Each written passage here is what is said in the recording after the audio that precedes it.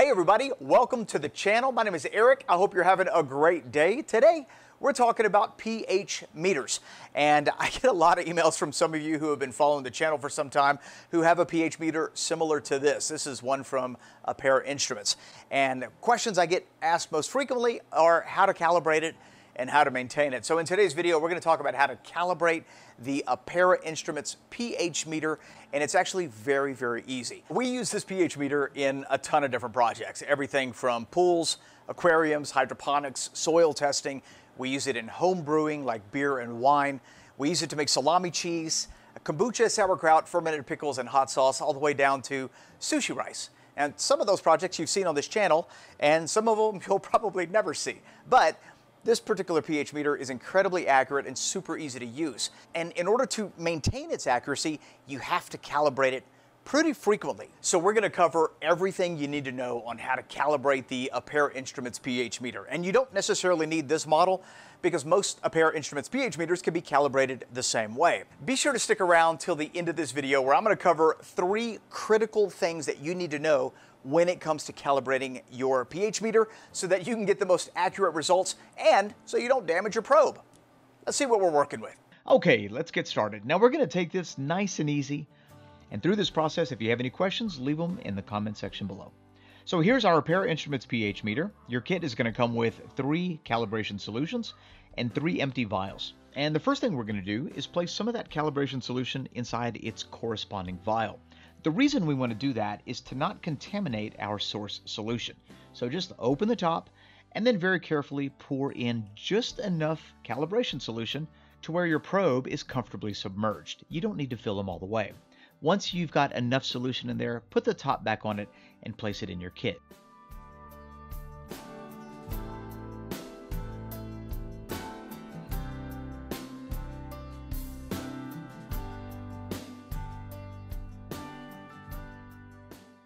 Okay, now that your standard buffers or your calibration solutions are in their appropriate vials, let's just take a minute to talk about each one of them. 7.0 is going to be your first, that's your neutral pH. You have an acidic buffer, which is your 4.0 pH, and then you're going to have your alkaline buffer, which is your 10.01. So a question I get quite often, how do I know which one to use when I'm calibrating? All right, so to understand which calibration solution you need, you need to understand what goes on when you calibrate your pH meter. And I'm going to try to oversimplify this entire process. And if at any point I lose you, just leave me a comment in the comment section below and I'll try to answer your question as quick as I can. When you calibrate your pH meter, you're going to create what they call points of calibration. And each point of calibration is going to extend the range of accuracy. Does that make sense? All right, let me give you an example. So when you begin the process of calibrating your unit, you're going to start with Buffer Solution 7.0.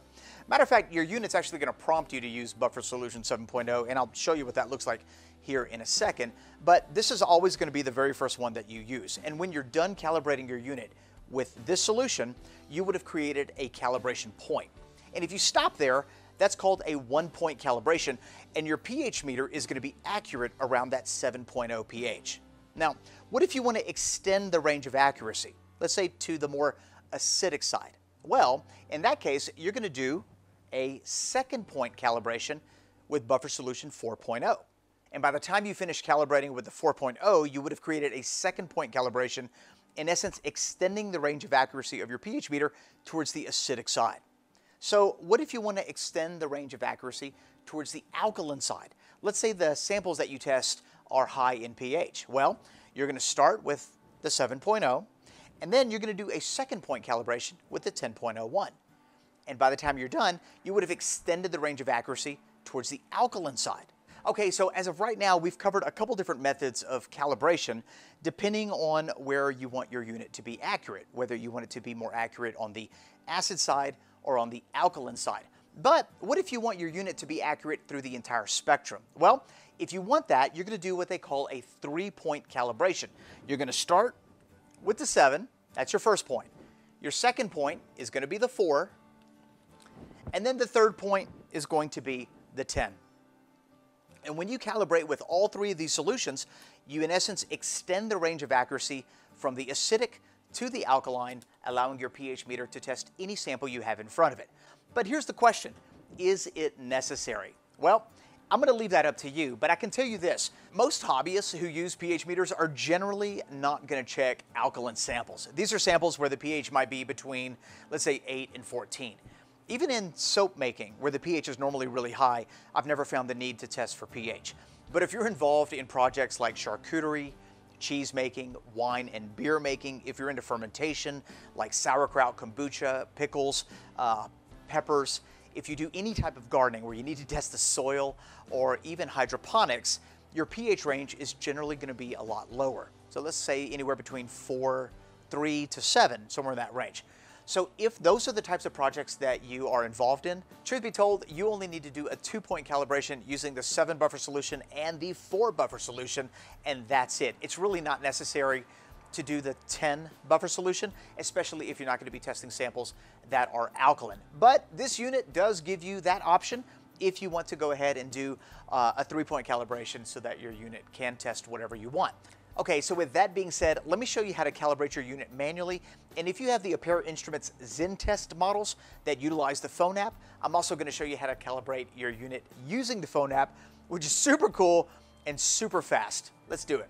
Okay, when I start calibrating, this is generally what my setup looks like. I've got my pH buffers and my kit. I've also got a small container of distilled water and some delicate task wipes. These are from Kimtech, great for your pH meter, uh, glasses, other things like that. I've also transitioned from the vials to something called a calibration pod or a cow CalPod, which is just basically a more sturdier, stable version of the vials. It'll actually hold the unit, so it's kind of a hands-free version, and you'll see that here in a minute. So what you're about to see is exactly what I go through every time I calibrate my pH meter. I would suggest you do the same. It's a good practice. We're going to start by removing the cap, and because there's electrode solution in there, we're just going to make sure that we put it somewhere where it doesn't spill. In the kit is a perfect place. Now all we got to do is rinse that tip off. We don't want to contaminate our calibration samples. So we rinse it in distilled water and then blot it dry with one of those delicate task wipes. If you don't have a delicate task wipe, you could also do this and shake it dry. Just make sure you don't break the probe and accidentally hit it on something. Let's turn the unit on by short pressing the power button. That's the first button on the top. Once the unit's been powered on, we're going to get into calibration mode by long pressing the calibration button. That's the last button on the control panel. So we're going to hold it for a couple of seconds. The screen's going to turn green, indicating that we're in calibration mode. And notice that there's a 7.00 flashing on the screen. That's your unit prompting you to stick that pH meter in the 7.00 buffering solution. So that's exactly what we're going to do. We're just going to dip that into the solution, give it a little swirl, and allow it to start reading that particular pH buffer. As soon as your reading is stable, and that's indicated by a little smiley face that shows up on your screen, you can go ahead and proceed to the next step by short pressing the calibration button. That's just a quick press. Your screen's going to flash, the light's going to turn off, and you've just completed the first point of calibration. Easy, right? So all we got to do now is rinse off our probe, blot it dry, or shake it dry.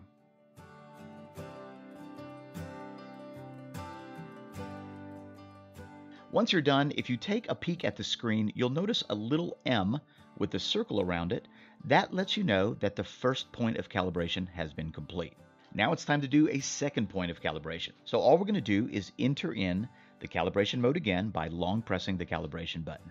Hold it for three seconds your screen's going to turn green.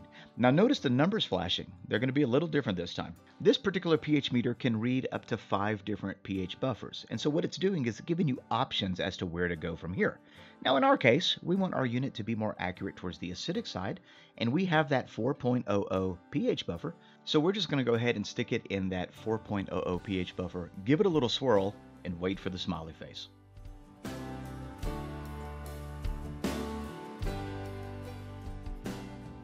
Now that we've got our smiley face, short press the calibration button, the screen's going to flash, the green light's going to turn off, and we've now completed a second point of calibration. So once again, rinse your probe off in distilled water, blot it dry or shake it dry, and if you just want to confirm it, look at the screen, and you're now going to notice the M with a circle and an L with a circle. And that lets you know you now have two points of calibration. Now, because I typically only test lower pH samples, this is generally where I stop. But I'm going to show you how to do a third point of calibration so that your unit can be accurate through the entire spectrum. So we're going to go ahead and enter calibration mode once again by long pressing the calibration button. Notice the numbers flashing 10.01 and 12.45. Those are the only two options left. I'm going to stick it in the 10.01 solution, give it a little swirl, and wait for the smiley face. Our reading is stable. Let's short press the calibration button.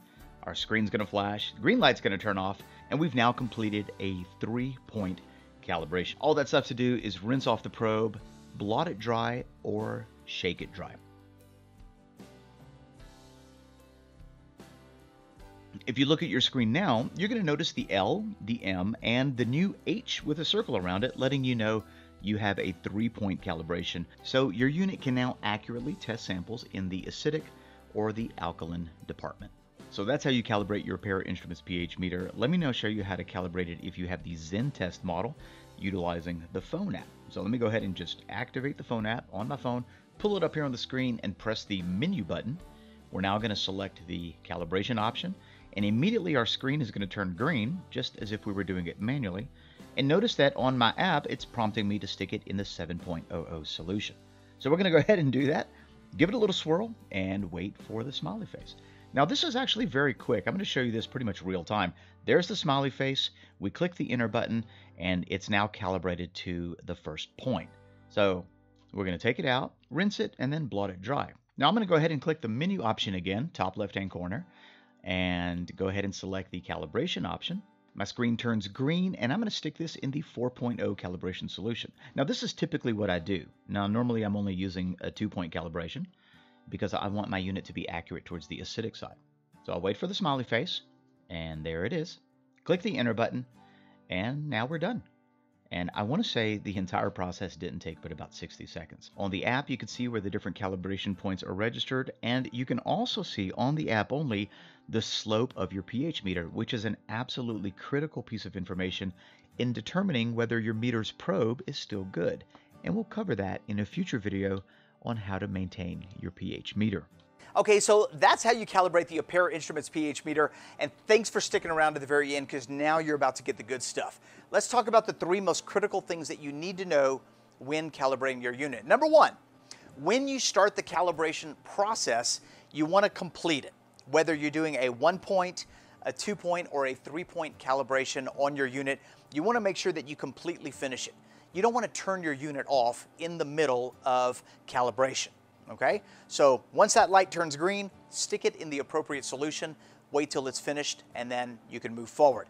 Number two, how often should you be calibrating your pH meter? And that's a great question. So the answer I'm gonna give you, super simple, very easy to remember. Because let's face it, most hobbyists are not using their pH meter every single day. So my advice to you when it comes to calibrating your pH meter is to calibrate it every time you use it. There is no harm in calibrating it that often, and you're guaranteed accurate results. And you don't have to remember when you did it last. So every time you pull it out, calibrate that bad boy, and you're good to go. The process only takes like 60 seconds. Okay, number three, when should you throw out the pH buffer solutions? And that's a particular issue that most people don't even think about. Most people throw out their pH buffer solutions when they either get contaminated or they expire. But the accuracy of your pH meter is completely dependent on a couple different variables, and one of those variables is the freshness of your pH buffer solution. Every buffer solution has a shelf life, and I'm not talking about the expiration date that comes on the original bottle.